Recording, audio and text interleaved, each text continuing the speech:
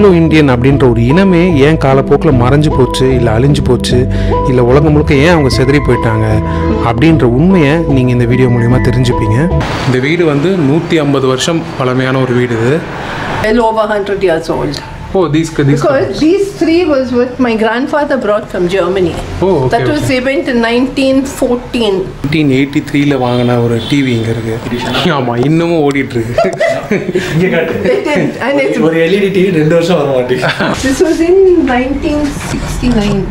Oh oh nineteen sixty nine okay okay nineteen sixty நைனில் வாங்கின gas stove இது happened when they were going? They didn't know what they were going to see when they went back to England.